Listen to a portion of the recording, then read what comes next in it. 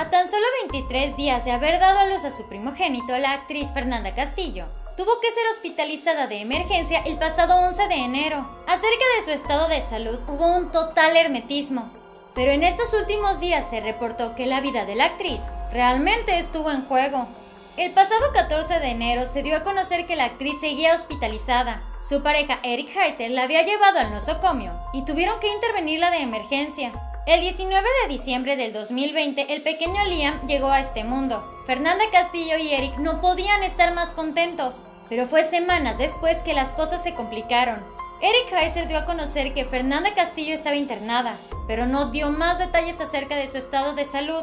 Después se informó que esta actriz de 38 años había presentado mejorías, ya que había pasado de la unidad de cuidados intensivos a una habitación regular. Pero después la preocupación sí que nos inundó.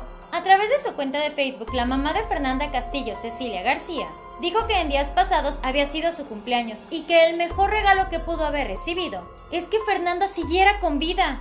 Según lo que actualmente se reportó, es que Fernanda tuvo una muy, muy fuerte hemorragia, la cual le produjo grandes complicaciones.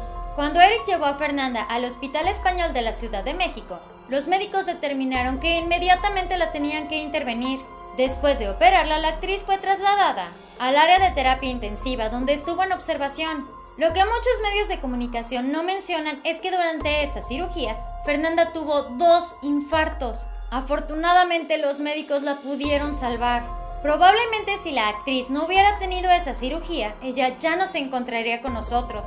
A través de una pequeña entrevista, el médico ginecólogo obstetra Miguel Villa dio a conocer los motivos que probablemente pudieron haber derivado en las complicaciones que tuvo Fer. Este experto explicó que el periodo posparto se divide en tres etapas. Inmediato, que son las primeras 24 horas después de haber tenido al bebé. El son hasta 7 días del nacimiento mientras que el tardío hasta los 40. Este último es el periodo en el cual Fernanda Castillo tuvo la hemorragia.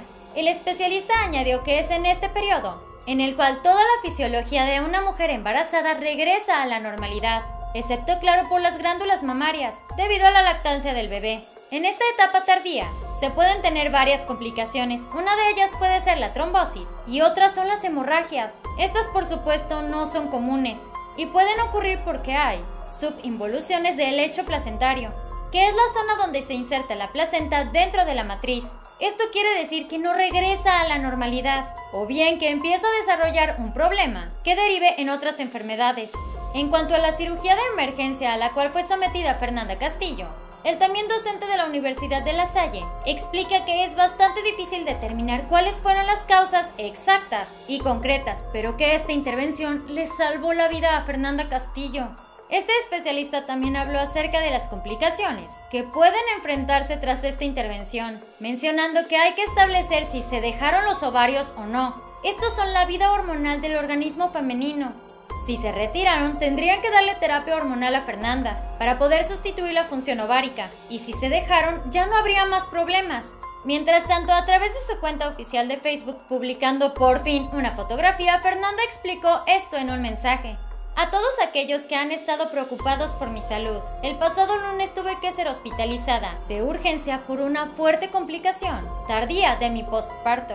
Fue una semana muy difícil, pero hoy estoy bien, en casa y con mi familia. Gracias a Dios, gracias a ti Eric Heiser y a Liam por ser la mejor razón para seguir adelante. Gracias doctor Patricio Sanhuesa por salvarme la vida.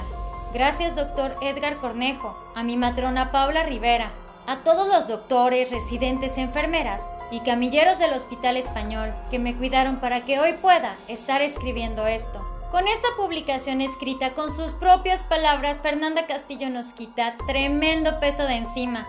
Ojalá que los siguientes días ella nos pueda platicar un poquito más de información acerca de su intervención y por qué le sucedió, principalmente para que le pueda servir de experiencia a otras mujeres embarazadas y si se puede evitar que pase. Este fue el Muro de la Fama. No te vayas de este video sin antes suscribirte a nuestro canal de YouTube dando clic aquí abajo, al igual que seguirnos en nuestra página en Facebook. Recuerda que estamos subiendo contenido todo el tiempo, así que prepárate para mucho más. Que tengas un excelente día. Nos vemos muy pronto. Bye.